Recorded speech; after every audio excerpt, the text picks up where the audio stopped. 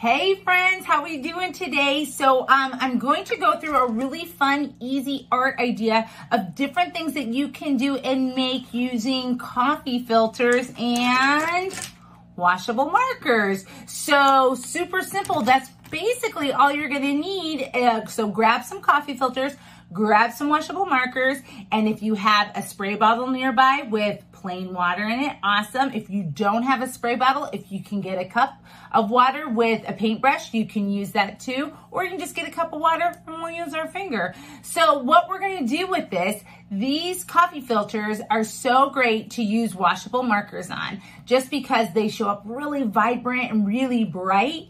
Um, uh, just so you, here's an example right here. So I colored with my washable markers all over this coffee filter. And then if I want to make it kind of a tie-dye effect, I'm gonna use my spray bottle and spray just a few little things of water on there and just kind of wash it around. And then you get this really cool tie-dye effect on your water filter. So you're gonna make sure that you let it dry for a little bit. And once it's dry, there's so many things we can make with this. You can fold it a couple of different times and either use a pipe cleaner or go out into your yard and gather a couple little sticks, use some uh, tape, and you can create a flower. So simple. I did one. I actually made two coffee filters um, without the spray. I just used my markers on them. I made stripes and polka dots and I folded them up and put them on either side of a stick and made this beautiful flower. So you could make a whole bouquet of these flowers, which is so fun.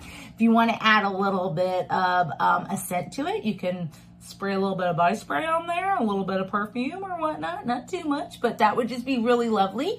Um, if we don't want to make the flower, you can take your round little coffee filter and if you scrunch it in the center and you use a, uh, uh, I never, I can never say pipe cleaner in the center, you can make a really cute little butterfly out of this.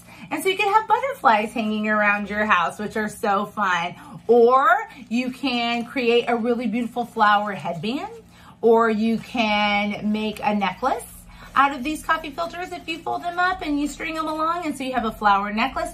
So many different things. Um, or just hang it up in your window and let the sun come through to make a really beautiful stained glass effect. Okie doke loves, so many different things to do. And this weekend, something special is happening. It's Mother's Day. So think about all the wonderful ladies in your life, your mamas and your nanas and your mumsies and your mimis and your mimas and, and everyone wonderful and special aunts and just special friends all around that you'd like to make something special for them. These are so easy and you can make them for, oh, just so many of them. You get so many coffee filters. Now, make sure you don't use up all the coffee filters. So if your grown up needs a cup of coffee, they can still make a cup of coffee.